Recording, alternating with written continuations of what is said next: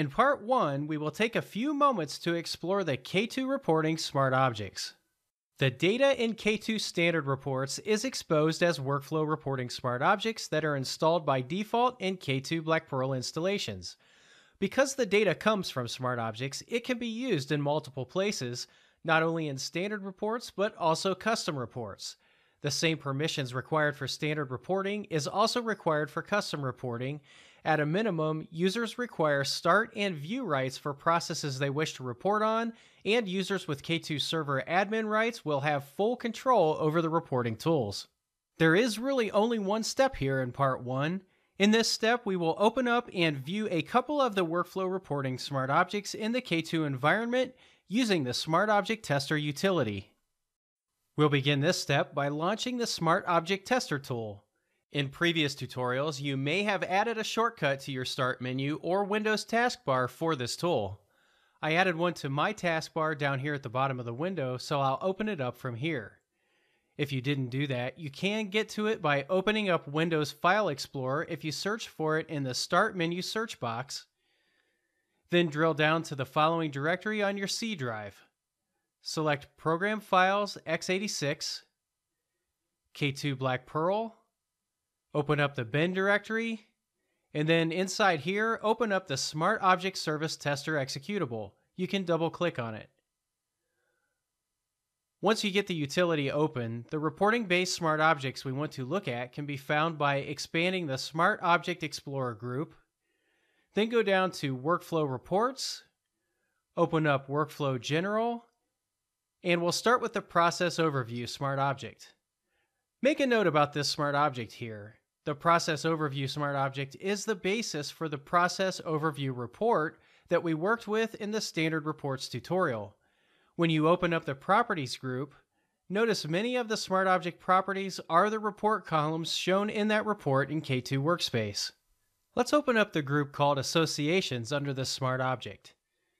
Notice the Smart Object actually has an association called Process Instance Overview. If we look at the association properties by double clicking on it to open it up, we see that the reference Smart Object here is Process Instance, with the common key property being Process Set ID. This makes reporting easier by letting us drill down into data for a process in the Process Instance Smart Object by passing the process set ID value. You can click cancel now to close this window if you're following along with me. Now let's take a look at the smart object actually retrieving report data from the K2 database. You can right click the process overview smart object and select execute smart object. Click the execute button and notice the results that are returned in the bottom of the screen. All of the deployed processes or workflows are listed here. Notice the leave request workflow process, and in particular, the process set ID of 2 in my system. This may be a different number in your environment. In the next step, we will execute the process instance smart object with the leave request workflow as a parameter. For now, we can exit the execute smart object screen. Right click the process instance smart object now, and then select execute smart object.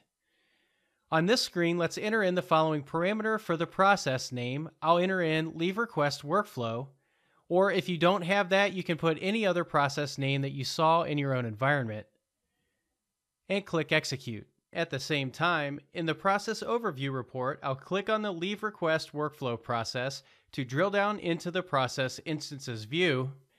Notice that the results display all of the process instances for the leave request workflow process.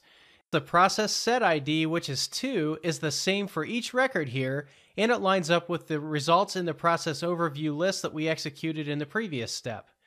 The process set ID is the common factor between both sets of records, and this is how they are associated with each other. If you are familiar with SQL queries and join statements, the associated smart object concept should be relatively straightforward. If you are not familiar with that, just know that K2 reports are actually the contents of the workflow reporting smart objects that are associated with each other to create a parent child set of records. That's all we'll need to look at in this exercise, so you can close the Execute Smart Object screen and then exit the Smart Object Tester utility. In a quick review, In this step, we demonstrated how K2 reports are actually just an execution of workflow reporting smart objects. The Smart Object Tester allows us to see the properties, methods, and associations for the smart objects. The parent child relationships that are formed from the associations translate into the standard report drill down functionality. And for custom reports, we will pull properties from several associated smart objects to build our report.